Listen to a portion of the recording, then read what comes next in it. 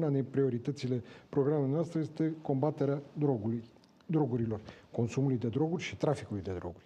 Mai concret, ce veți face în acest sens? În primul rând, m-am consultat foarte mult cu doamna, cu consiliera mea problemă de sănătate, cu doamna de la Ciubanu, care este directorul medical de la Bagdasar Arsenii și uh, vom, vom iniția un proiect la nivelul școlilor din sectorul 3 și al liceelor. Voi dota prin, uh, poliția locală cu câini antidrog, pentru că în ceea ce privește flagelul drogului am toleranță zero. Iar părinții, și eu sunt părinte, uh, copiilor noștri, părinții și copiii noștri trebuie să înțeleagă că în sectorul 3, în, spe, în special pe partea de, de școli și licee, toleranță zero. Da, cum vă ajută acești câini? Adică cum vor fi folosiți la, în încep, mod concret? la, la intrare, la intrare, în momentul în care intră uh, elevii în școală. Da, e un fel de scanner, un să fel de spunem, scanner, dar antidrog. câinele, câinele imediat simte lucrul acesta și uh, imediat vom, uh, împreună cu, voi, face, voi avea o colaborare cu uh, Brigada de Crimă Organizată, pe partea de droguri. S-ar putea să aveți probleme cu părinții care spun că nu, câinii sperie Nu, părinții, copiii. credeți-mă pe cuvânt că își vor dori lucrul ăsta. Uh, am, uh, avea, discutam cu, cu anumiți părinți și mi-au spus, domne, mi-e atât de frică pentru copilul meu să nu se întâmple ceva, pentru că noi aici nu vorbim doar de copii, vorbim de anturaj. Ați văzut că drogurile merg până într-acolo încât sunt uh, dealerii în școală. Iar acei dealeri trebuie să identificați și eliminați din școală.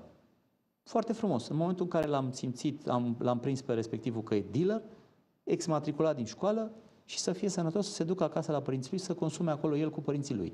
Noi nu vrem Credeți așa că ceva în acum școală. nu se întâmplă așa? Adică dacă e prins cineva că distribuie droguri într-o Păi școală, se întâmplă, dar nimeni nu face nimic în sensul ăsta. Asta încerc să adică nu spun. face să-l depisteze. Că dacă Da, l-ar păi depista, tocmai de bănuiesc asta că... dotez poliția locală cu câini antidrog. Am spus, este cel mai important lucru. Vor simți de încă de la intrare persoanele, consumatorii, elevi și, în primul rând, dealerii, cei care aduc dor- drogurile acolo. De la, de la intrarea în curtea școlii vom ști exact cine se ocupă cu, cu aceste lucruri. Toleranță zero. Poliția locală va trebui inclusiv să fie instruită să meargă la cursuri antidrog, să știe exact acest flagel trebuie combătut în cel, mai- la cel mai înalt nivel, domnule Preda. Dar vedeți că s-ar putea să fie mai complicat Nu decât ne- credeți că acolo Viața, trebuie să domnul, modificați Viața organigrama, este să complicată. aduceți Nu e o specialiști. problemă, le modific- știm să o modificăm și organigrama.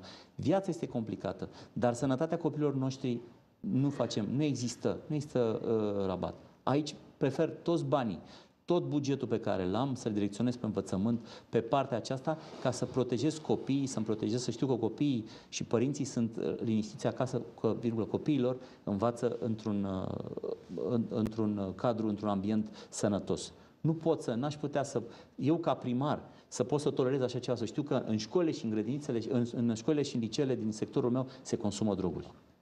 Lucrul acesta trebuie, trebuie să începe. Este un moment T0 de la care trebuie să plecăm. Nu putem să mai mergem așa înainte. Domnule Niță, Dacă îmi